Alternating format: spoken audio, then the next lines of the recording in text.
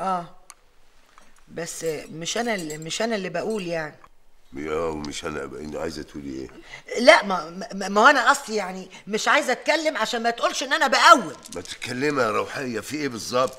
يعني يا أخويا بيقولوا عليك منظر وخيال مآتة والكلمة كلمتها والشورى شورتها. قطع لسان اللي يقول كده. ده أنت على كده هتقطع لسنة ناس كتير قوي. روحيه ده إيه الكلام اللي يفور الدم ده؟ لا ما أنا قلت لك يا أخويا ما فيش داعي أتكلم لا تزعل مني. ده حتى كل صبيانك دايرين في الحتة كلها يقولوا الكلام ده. طب إيه رأيك بقى يا روحية؟ إن العيال صبياني ما بيسمعوش كلام حد غير أنا. أنا عايزه أقول لك على كلمة تسمعها من أنا. أنا أختك حبيبتك. أنا عايزاك كده يعني تبقى حمش تتنحرر. أحس كده انك إنك لك هيبة. أكتر من كده؟ أيوه مش معايا أنا يا حنفي. أنا بتكلم على كيداهم. أنا ما بقولش يعني إنك أنت تتخانق معاها ولا تشخط وتنطر ولا تاكلها بالاقلام بس قدام الناس يعني خلي الكلمة في الآخر تبقى كلمتك أنت. آه عشان يبقى لك قيمة يبقى لك شنة ورنة في الحتة. طب أقول لك حاجة يا أقول لك حاجة وتصدقيني. أنا كيدهم بتصعب عليا. كل ما أقول لها كلمة تقول لي طبعا.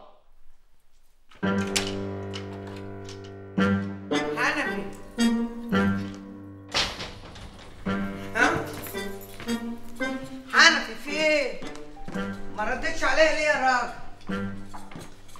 الله.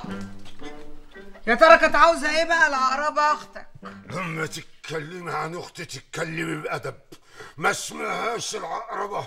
اسمها روحية هانم. الله الله الله الله الله. جرايه يا أخويا. هو أنا غلطت في البخاري ولا غلطت في البخاري؟ مالك طالع لي بنار الفرن يا بطاطا بتقول يا شر الشر. الظاهر ان مليتك وشحنتك عليا المتسمى دي. لا! ها؟ المعلم حنفي البرنس. ما فيش حد يلعب في دماغه ولا يأثر عليه. ما أثرت أهو باين على صحنتك. بسم الله ما شاء الله.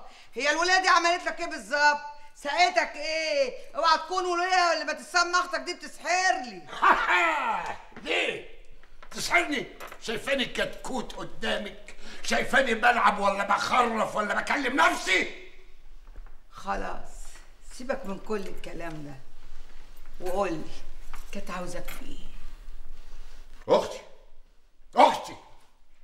وحشتني وحشتها. حبت تشوفني فيها حاجة. وحش لما ياكلها عقربه تلدعها. برضه هترجعي تغلطي تاني. يا نهارك اسود ومنيل. هي حصلت يا راجل نحس إيدك عليا. لا بقى اقف مع وجهه وكلم عدل بقول لك إيه؟ أنا جاي من الفرن تعبان ومولع. وما عنديش استعداد أتخانق معاكي أنا داخل أنام. تصبحي على خير. امشي أنا من قدامي أمشي. تنام؟ يا نهارك أسود ومنيل يا روحية. يا ترى عملت إيه في جوزي؟ خليت الراجل سابني ودخل ينام. ماشي يا روحية إن ما وريتك ما بقاش أنا كيداهم. انت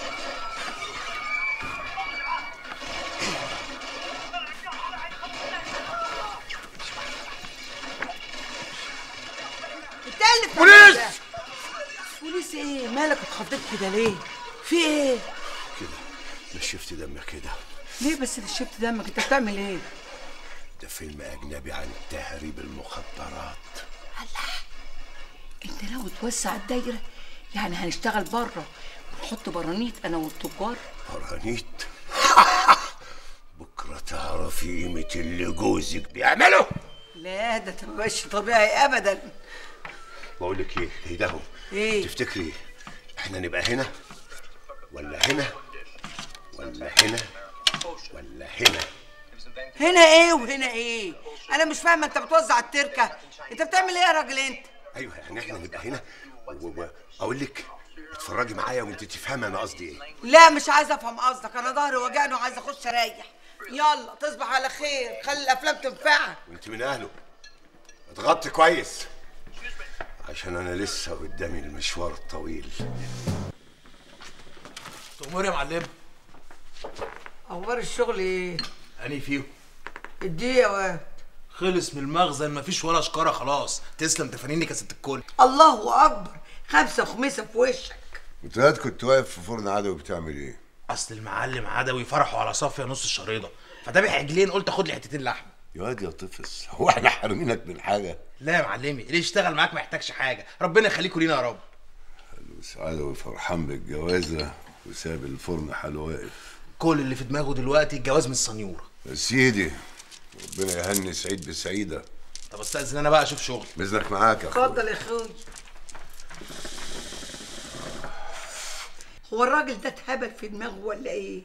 ده بكرة تشقطه زي الكورة وتاخد اللي وراه واللي قدامه وترميه في الشارع. مش هتلحق كيداهم. إزاي يا حنفي؟ أنا بقى عندي رسمة كيداهم. هتقلب الفرح ده وتخليه أسود عليهم هما الاتنين. عفارم عليك يا أبو بناتي. أنا عاوزاها ضلمة عليها وعليه. هتبقى ضلمة. إزاي يا حنفي؟ قبل ما أجي أشتغل عندك زمان زمان قوي أنا وعدوي كنا عايشين مع بعض. وعدوي بقى كان متجوز. بقى المخفي ده كان متجوز قبل ما يشتغل عندي؟ أيوه كان متجوز بنت اسمها شربات بنت كانت ملعب لعبت عليه واتجوزته. هو طول عمره هبل كده وبريالة. ما حرمش راح يوقع نفسه الوقعة السودا دي تاني؟ مش ده المهم يا كيداهم؟ المهم إن عدوي طلع البت شربات. قال إيه؟ كان بيشك فيها. البت بقى ما سكتتش. فضحته في الحتة اللي كنا عايشين فيها. وقالت إن هو بيقول كده عشان يداري خيبته مش فاهمه حنفي. مش فاهم يا حنفي. أمال مين اللي يفهم؟ غير يا كيداهم. ده أنت بتفهمي وهي طايرة. أيوه يا أخويا طب شقطها لي في دماغي. القاها وخدها تاني طيارها ترقيها ماشي. إحنا لو عرفنا نجيب البت دي هتفضحوا في ليلة الفرح وتبقى جرسته بجلاجل زي الفل. بس تجيب البت دي بقى إزاي؟